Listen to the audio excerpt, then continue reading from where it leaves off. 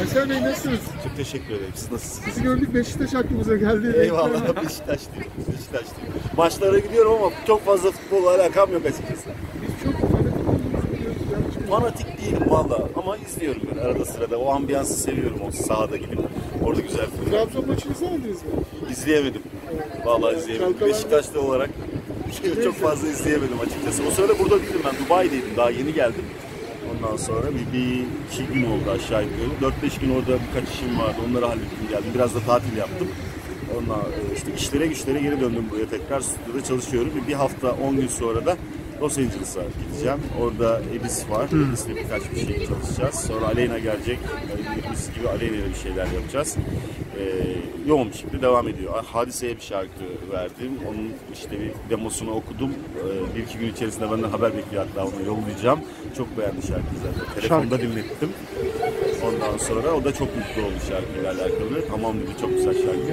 Hareketli mi şarkı yoksa Slow bir şarkı. Slow bir şarkı. Güzel bir şarkı. Sonra kim var başka? Murat'a bir şarkı yaptım Boza. Onun çalışmaları var. Ondan sonra Tuğba Yurt var. Bir şarkı ona yaptım. İki tane no name yeni arkadaşımız çıkacak. Onların şarkıları var. Yoğun bir şekilde stüdyoda çalışıyorum. Kendinize ayırdınız mı bir şarkı? Ben ayırmıyorum ya. Bazen böyle bir şarkı oluyor. Abi bu şarkı benim için güzel oluyor diyorum. O şarkıyı arada çıkartıyorum zaten. Ama ben paylaşmayı daha çok seviyorum. Yapayım, üreteyim. Arkadaşlarımla, dostlarımla paylaşayım şarkıları. Daha keyif alıyorum. Peki yani mesela diyorsunuz ki yani ben Aleyna için bir şarkı yapayım mı diyorsunuz yoksa bu hadise için olur onu mu yapayım nasıl Ya ayarlıyorsunuz onu? şöyle oluyor. Genelde zaten şarkıya başladığım zaman e, şarkının tarzı kendi solistini seçiyor. Hani bu Aleyna'ya olur mesela diyorum daha yaparken şarkıyı. E, ve gerçekten ondan sonra onu Aleyna'ya doğru yönlendiriyorum. Biraz da onu düşünerek çalışıyorum üstünde. Genelde bu şekilde çalışıyorum. Peki onlar size aletleri sipariş veriyorlar mı? Bana hareketli yap, slow yap nasıl oluyor? Ya e, eskiden çok eskiden oluyordu. Ersay şöyle bir şarkı lazım, Ersay böyle bir şarkı lazım diye ama şimdi sağ olsunlar hepsi bana bırakıyorlar onu.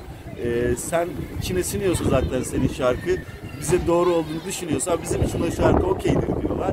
Ben onları genelde arıyorum. Hadi sen şarkıyı bitirdin diye arıyorum. Ya da işte Aleyna bir şarkı var bak tam senlik bu şarkı. Hadi bir zıpla gel bir dinleyelim diyoruz. Mesela dün akşam geldi. Gerçekten ona göre bir şarkı vardı. Aleyna bendeydi beraber oturduk şarkıyı dinledi. Bu şarkı benimdir dedi. Çok mutlu bir şekilde geri döndü.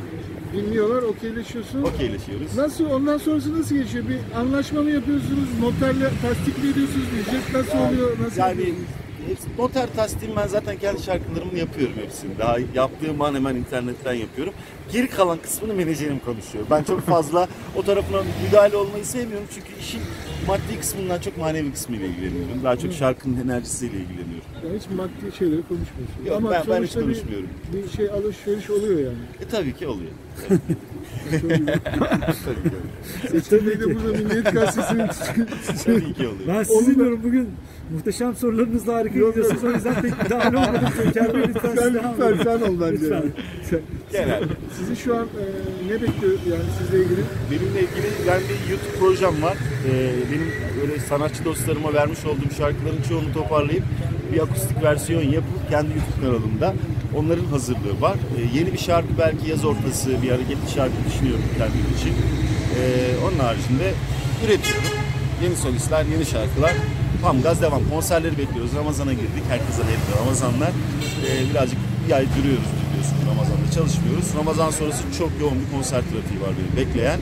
Yaz konserlerimiz çok yoğun. Ee, onların şu anda birazcık dinleniyorum açıkçası ben.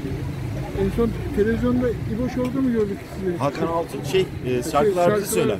Evet. Orada da çok beğenildi performans. Çok keyif aldım ben o programdan. Harika bir hatıra. Sibel Can, zaten dostum Hakan abi zaten çok sevdiğim bir abim. Ee, o program benim için çok güzel bir hatıra oldu. Gerçekten izleyici, dinleyici de çok beğendi. Bana güzel pozitif dönüşleri oldu. Çok keyifli program. son zamanlarda iyi şarkılar var mı? Dinlediğiniz veyahut da beğendiğiniz şarkılar. Ben bu ara birazcık e, biraz karışık benim şarkılarım. Yani dinlediğim şarkılar özellikle. Ben tam tam isim veremem size ama çok fazla isim dinliyorum. Hepsini tek tek dinliyorum gerçekten. Bazılarını çok seviyorum. Defalarca dinliyorum. Bazılarını böyle bir kere dinliyorum. Aa okeymiş diyorum. Geçiyorum. E, yabancı şarkı çok dinliyorum. E, yeni olan her şeyi çok fazla zaten dinliyorum. Seviyorum. O kadar. Bu R&B çok popüler. Bir sürü yani gruplar yani e, sayısı bilinmeyecek derecede. Şarkıları da çok güzel yapanlar Evet, da var. evet. Bu bir gelip geçici bir şey midir?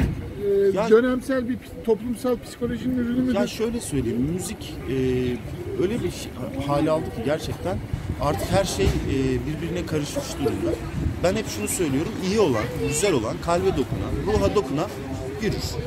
Bunların artık pek fazla tarzı da kalmadı. Hepsi tarzların birbirine karıştı. Melezleştiler aslında. Yani rap çıktı biliyorsunuz. Sonra rap popla birleşti. Sonra işin içerisine R&B girdi.